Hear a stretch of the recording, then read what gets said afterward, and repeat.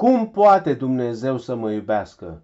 În El avem răscumpărarea prin sângele Lui, iertarea păcatelor după bogățiile Harului Său. Epistola lui Pavel către Efeseni, capitolul 1, versetul 7.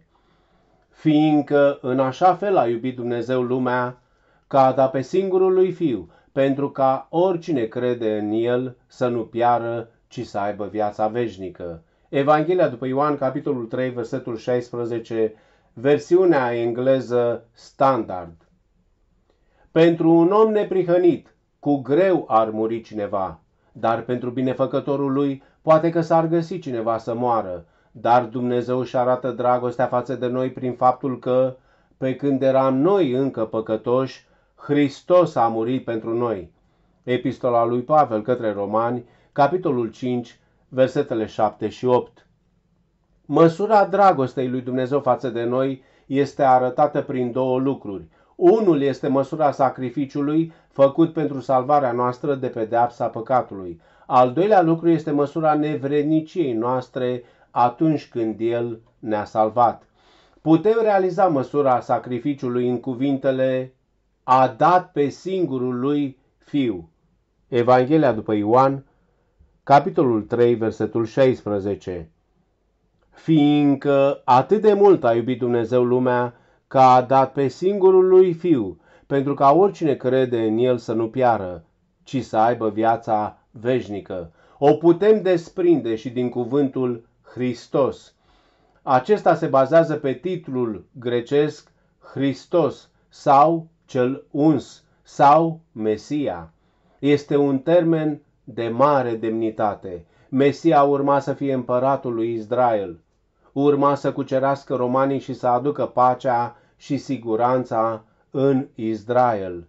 Astfel că cel pe care Dumnezeu l-a trimis să salveze păcătoșii este însuși fiul său, singurul lui fiu și unsul lui Israel, cu adevărat împăratul lumii.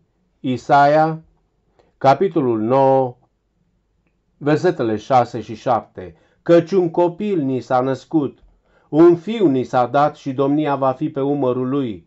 Îl vor numi minunat, sfednic, Dumnezeu tare, Părintele veșniciilor, Domn al păcii. Dacă mai adăugăm la toate acestea moartea înfiorătoare prin crucificare pe care Domnul Isus Hristos a îndurat-o, devine și mai clar faptul că sacrificiul pe care Dumnezeu și Fiul Său l-au făcut este absolut măreț, chiar infinit. Dacă luăm în considerare diferența dintre divin și uman, dar Dumnezeu a ales să facă acest sacrificiu pentru salvarea noastră. Măsura dragostei lui pentru noi devine din ce în ce mai mare dacă luăm în considerare nevrednicia noastră. Pentru un om neprihănit cu greu ar muri cineva, dar pentru binefăcătorul lui poate că s-ar găsi cineva să moară. Dar Dumnezeu își arată dragostea față de noi prin faptul că, pe când eram noi încă păcătoși, Hristos a murit pentru noi.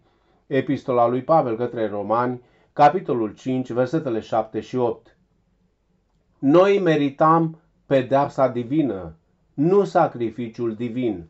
Am auzit că se spune, Dumnezeu nu a murit pentru broaște. Deci, El a reacționat față de valoarea noastră ca oameni.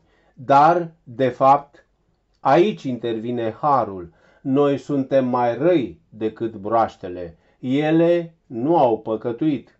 Ele nu s-au răzvrătit împotriva lui Dumnezeu și nu l-au tratat pe Dumnezeu cu dispreț, considerându-l fără importanță în viețile lor. N-a fost nevoie ca Dumnezeu să moară pentru broaște.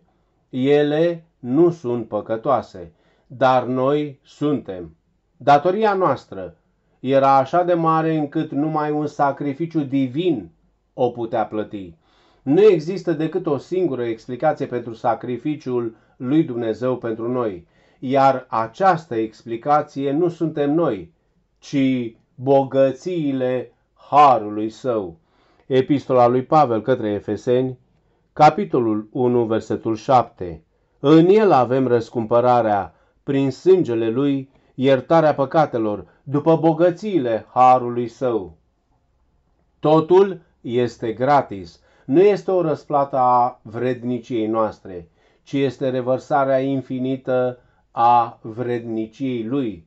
De fapt, aceasta este dragostea divină, pasiunea de a-i încânta cu un mare preț pe păcătoși și fără merit, cu ceea ce ne va face fericiți pentru totdeauna și anume cu frumusețea Lui infinită.